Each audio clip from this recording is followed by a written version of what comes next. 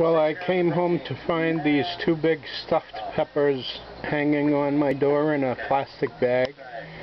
And um, they are stuffed with lamb and um, rice.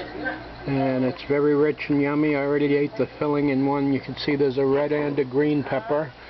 And there was this giant turnover pot pie thing uh, I can show you the bottom side has like peas and other veggies in it, peas and carrots, and celery and stuff, and chicken, and a rich uh, white sauce, creamy white sauce like. So it's a pot pie turnover, chicken pot pie turnover, and I'm thinking of saving that for later tonight for supper. But um, I'm going to go ahead and finish my lunch, which is two lamb and rice stuffed peppers. Bye-bye.